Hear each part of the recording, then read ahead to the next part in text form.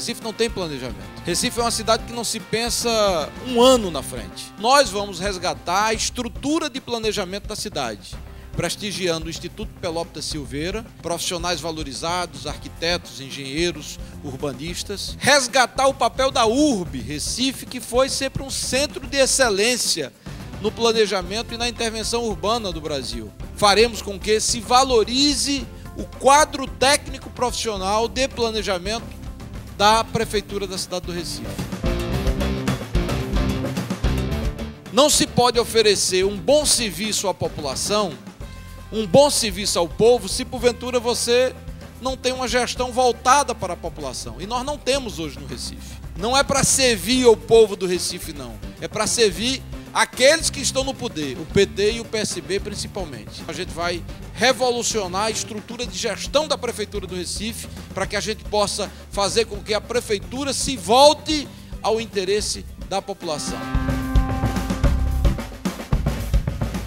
Há uma questão que eu vou dedicar atenção especial, que diz respeito à juventude, as políticas para a juventude, principalmente a política para a juventude de periferia, que hoje está dominada pelo crack. Você tem que ter centros de recuperação em parceria com igrejas católicas e evangélicas e investimento forte em áreas de lazer, acesso à cultura e prática de esportes. Temos os centros sociais urbanos, do Alto Pascoal, do Totó, absolutamente largados e abandonados pelo governo do estado e pela prefeitura. Então a gente tem que avançar por aí.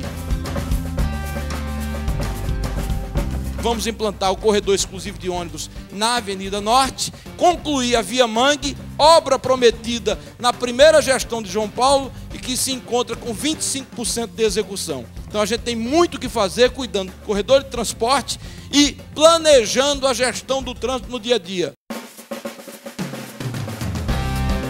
Recife cometeu um erro há quatro anos atrás.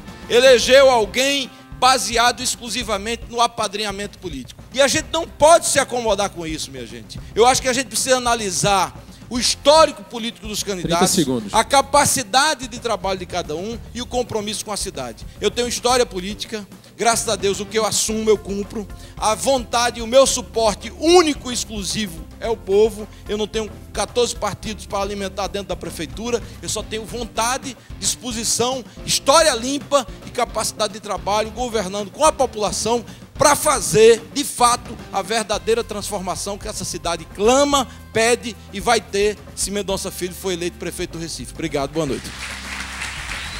O Recife pode ser do jeito que a gente quer.